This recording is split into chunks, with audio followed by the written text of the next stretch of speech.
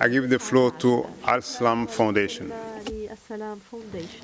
Madam High Commissioner, Al Salam and ADHRB congratulate you on your appointment as High Commissioner for Human Rights. As you assume your mandate, we would like to call your attention to the deterioration of the human rights situation in Saudi Arabia, in particular the widespread arrests of women's rights activists and human rights defenders, as well as the continued suppression of the rights of freedom of expression, assembly, and association.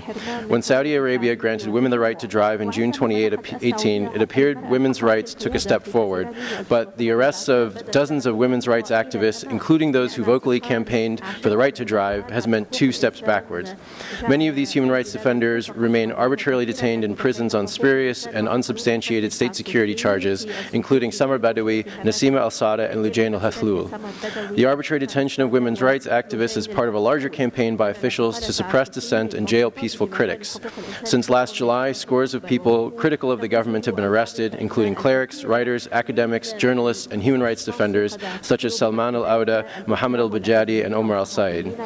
This coordinated campaign comes as Saudi Arabia attempts to enhance its image on the global stage. But these actions are not those befitting a four-time member of the Human Rights Council or a member of the UN Commission on the Status of Women.